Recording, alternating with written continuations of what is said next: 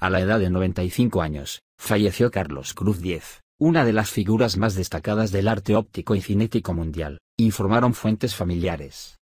A través de un comunicado, su familia reveló que el deceso ocurrió este sábado en París, Francia. Estamos de luto, fallece en París Carlos Cruz Diez, uno de los máximos exponentes del arte cinético a nivel mundial. Tania Díaz, vicepresidente de la Asamblea Nacional Constituyente, ANC. El 16 de abril de 2012, el gobierno de Francia le confirió la Legión de Honor, la condecoración más importante de su tipo.